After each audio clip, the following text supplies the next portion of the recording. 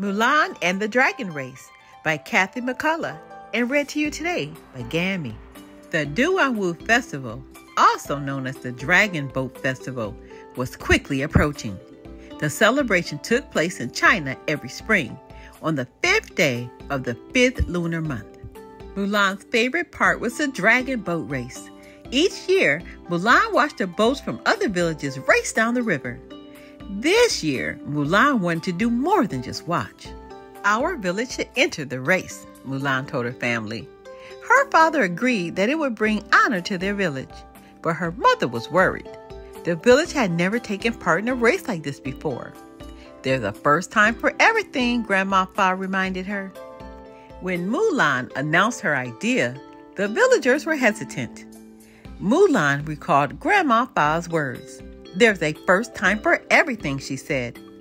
Some of the villagers agreed to join Mulan. They were excited to try something new. Mulan and her teammates painted their boat to match Mushu's fiery red scales and orange belly.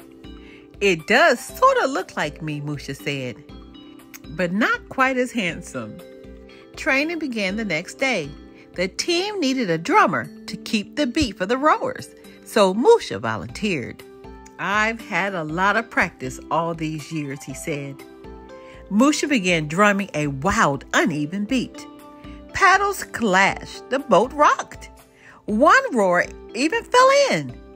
After the crew pulled their teammate back into the boat, Mulan showed Mushu how to keep a steady rhythm for the rowers to follow. She clapped her hands. One, two, three. Bam, bam, bam. Listening to the beat, the team arced their paddles through the air. Soon they were paddling in unison. Mulan was the team sweep. It was her job to steer with a long oar. At first, the boat zigged and zagged. Then the rowers heard Mushu steady. Bam, bam, bam. They followed the beat and glided easily through the water. After weeks of practice, it was finally the day of the race.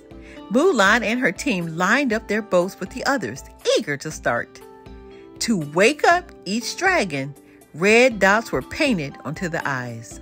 The race began. The dragon boats zoomed away from shore, each drummer pounding out a different rhythm. As the other boats whizzed past, Mulan's team struggled to hear Mushu's steady beat. Mulan tried to steer as the waves from the other team slapped against the side of their boats. She clutched her oar as the boat tipped this way and that. The drum bounced out of Mushu's hands and into the water. He reached out to grab it and splash! Mulan fished Mushu out of the water, but without her steering, the boat crashed into the reeds. Mulan's team slumped in their seats. How could they finish the race without a drum?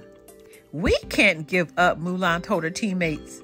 It's true that we've never paddled without a drum, but they're the first time for everything. Together, we can make it to the finish line. And I can still give you a steady beat, Mushu said. He clapped his hands. Clap, clap, clap.